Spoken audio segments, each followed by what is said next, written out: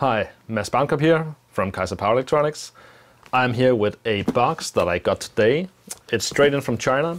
Only six day, 16 days uh, on the way. It is a 8.1.8 kilowatt induction heater. This is one of the cheapest um, ZW, uh, ZVS uh, zero voltage switching um, type of induction heaters.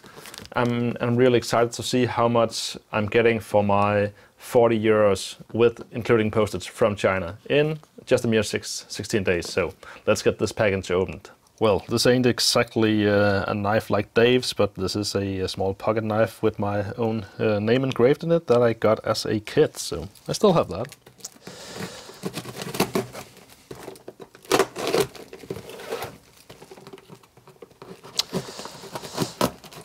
Good amount of yellow China tape here. Okay, at least it's the box was pretty beat up, so it's good to see there's some plastic parts in here. Okay, there's the work coil.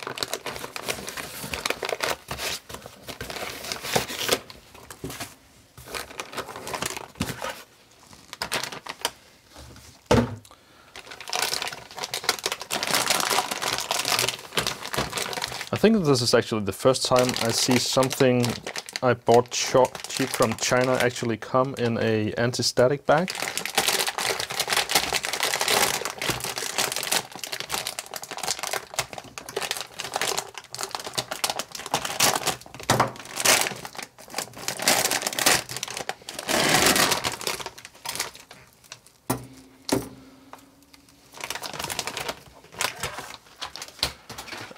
And away with that noisy thing.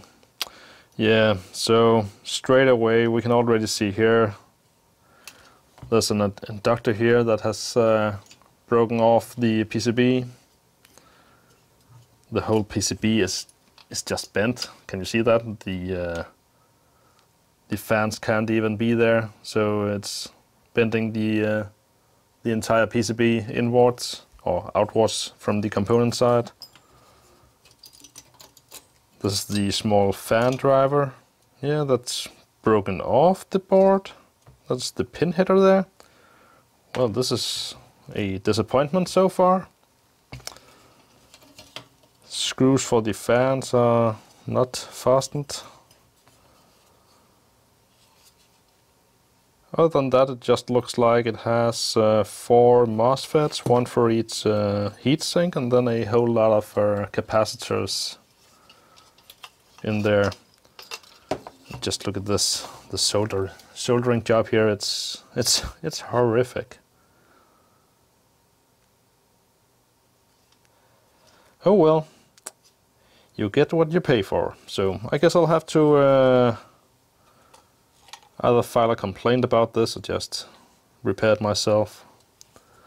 I will take this uh, induction heater apart and uh, we will see a little bit uh, how it's uh, constructed and what's behind these two fans. But first I think I'm gonna need a beer for this and I accidentally noticed that the heating coil actually seems to fit perfect around a, a beer here. So first things first, cheers.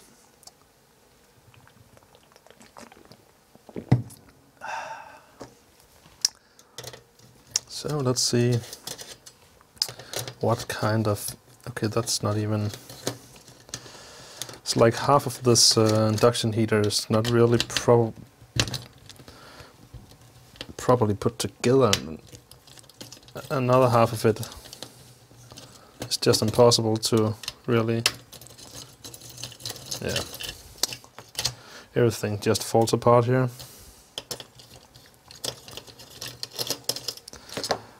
As you can probably hear, I'm still not that um, impressed by the build quality of this.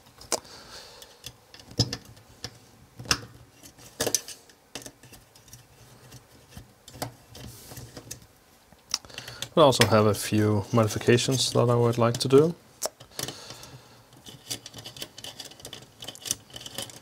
I'm not a big fan of how they placed these uh, coil connections because if you take a look here then we would have the coil mounted like this and yeah you would have your hoses for the cooling water going in here. That seems quite stupid. You have no access under the fan, so I will move these uh, standoffs to the um, to the back side here and just have it here instead.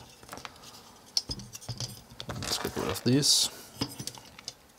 So I need to get this inductor soldered back in place. And I would have liked to check out if there were any um, heatsink paste under these. Does not seem like there is anything and I can't really get in there with a screwdriver to uh, get it out without jerking too much with the uh, resonant capacitors.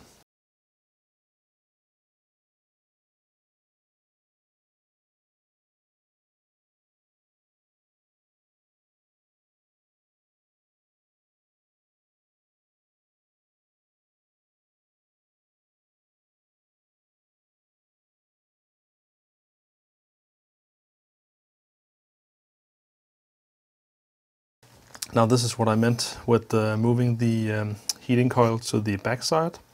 Now there is easy access for cooling water. I can mount it like this and if I have any water dripping it won't go down into the electronics or if I had mounted upside down with the fans before the water would drip down into fans blowing it right into the electronics again so it's a much better, much uh, better solution to place this on the back side.